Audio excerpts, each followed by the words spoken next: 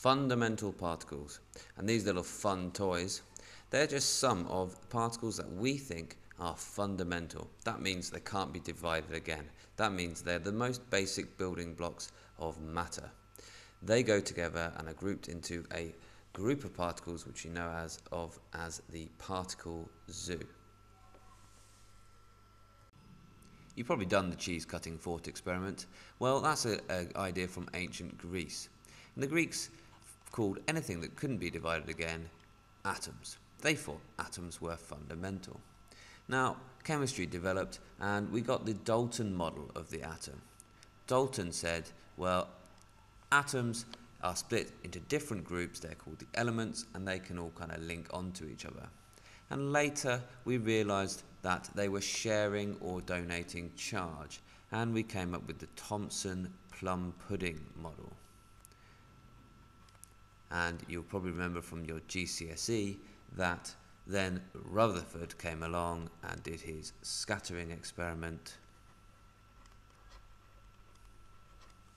and found out that actually there was a nucleus, a small positively charged nucleus where the mass was concentrated. That's called the nuclear model. Well, the model that you're most familiar with, though, is actually one step further than that. It's actually Bohr's model. You probably did not know it was called Bohr's model. Or maybe you did. And that's the model that in the nucleus we have positive things, which we call protons, and we have negative things which we call neutrons and that they are orbited by these little electrically charged particles which we call electrons and they have certain energy levels. That's slightly higher than GCSE perhaps from last year you remember they have discrete energy levels energies which they have in their orbits and they can move between these orbits. It was thought that the proton and the neutron were themselves fundamental particles, meaning they couldn't be split apart. But during experiments, we did find that they were in fact made of two smaller particles called quarks. And we gave the name the up quark and the down quark to the two particles that make the massive nucleons in atoms. They tried then to split up the electron and found that no, in actual fact, the electron could not be split into anything smaller.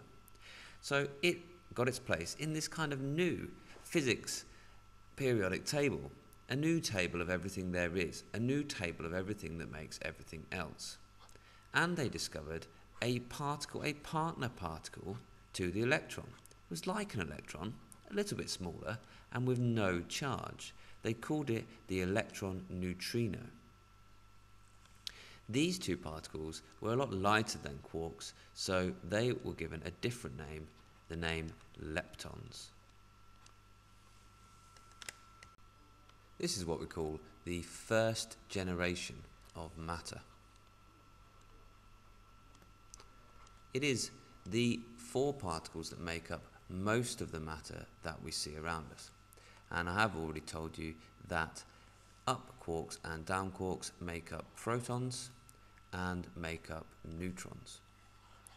We'll come back to how these things are made up, but very quickly, here's the composition, the what we call the quark composition of the proton and of the neutron. A proton is two up quarks and one down quark. A neutron is two down quarks and one up quark. Now, you need to know just one quantity and remember just one quantity about quarks, and that is their charge.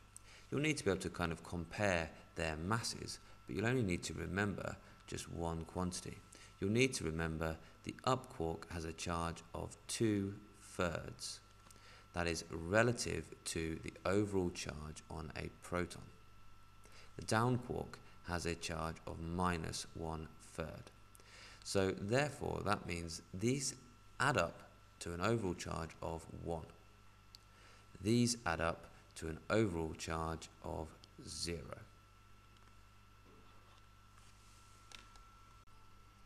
So then just the last two charges in the first generation of matter, electron is easy, doesn't change, that's a fundamental particle, it's minus 1, and the neutrino is the little neutral one, so its charge is 0.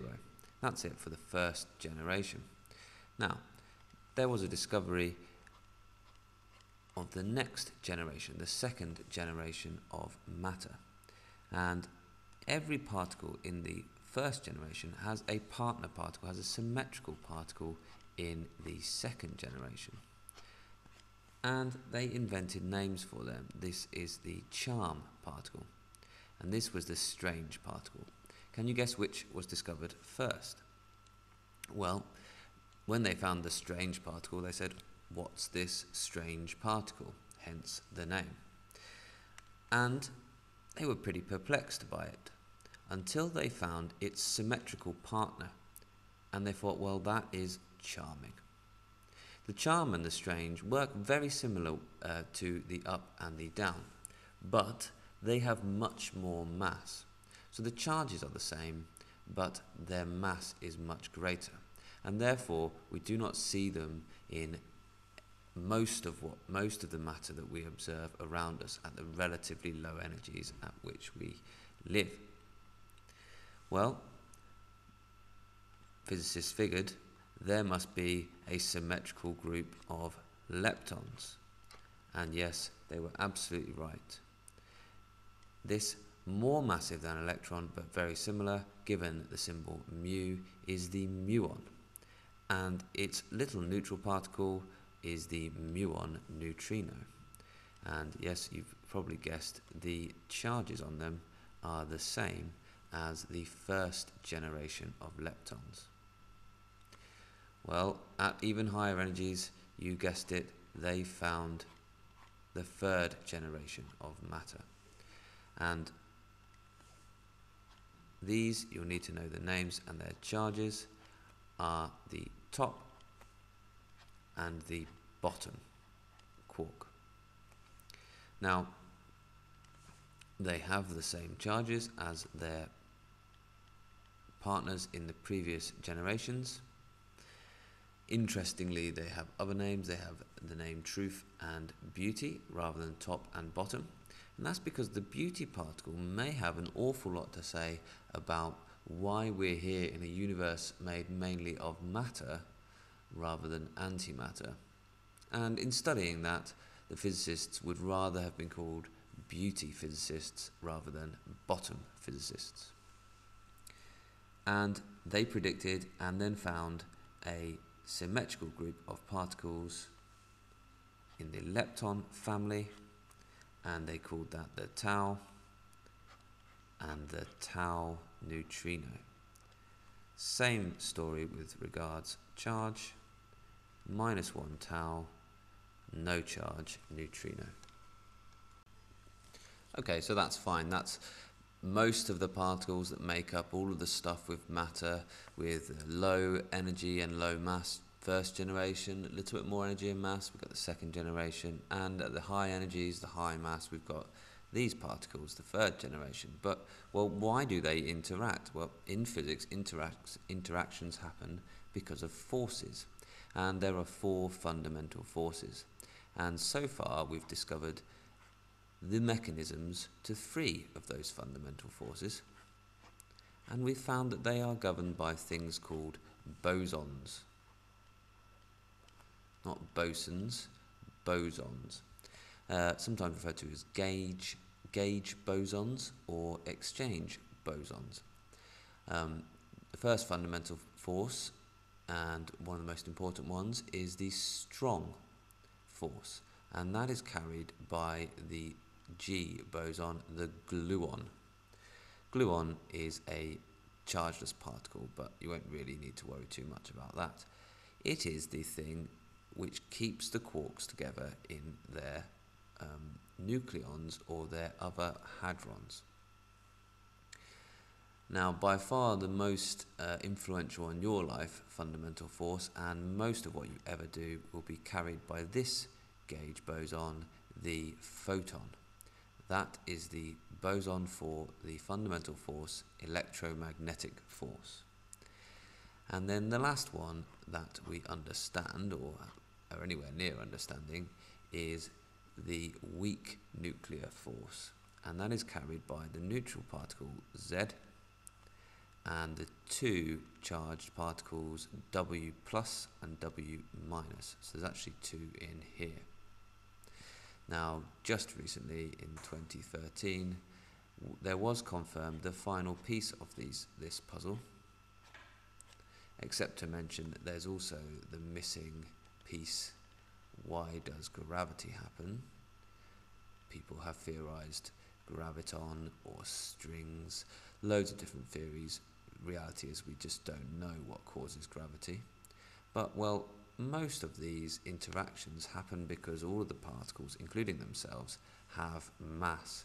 So we need a particle which allows there to be a field on which things feel mass, which causes mass.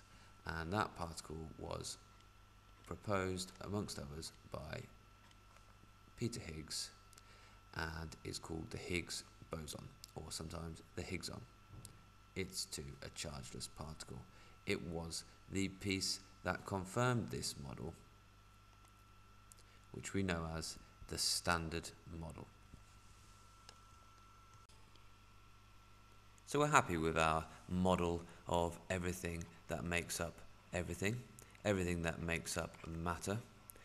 The standard model, the particles that make up everything in the universe. Well, we were happy with it to a point. We were happy with it until an interesting little footnote into one of Dirac's equations was investigated and predicted something which carried on the theme of symmetry. Every single particle in the standard model had its own symmetrical partner, and we call that stuff, the stuff that's the opposite of stuff, we call that antimatter.